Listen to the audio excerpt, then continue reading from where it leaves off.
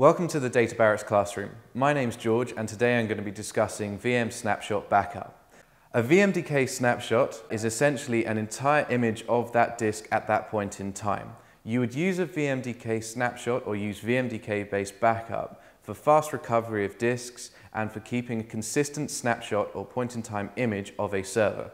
Other forms of backup involve granular based backup. This is the process of working with inside of the VM and taking a backup of each of the individual files.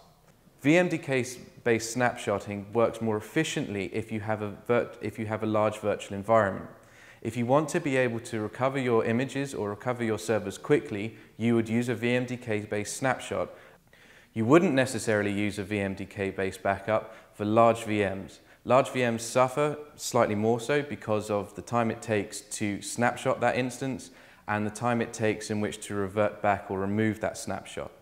Other problems with VMDK-based backup are the overheads required on the storage. In general, you need to keep a certain overhead or free room on storage to allow for snapshotting. This can therefore take up a lot more space and isn't necessarily the most efficient use of your storage.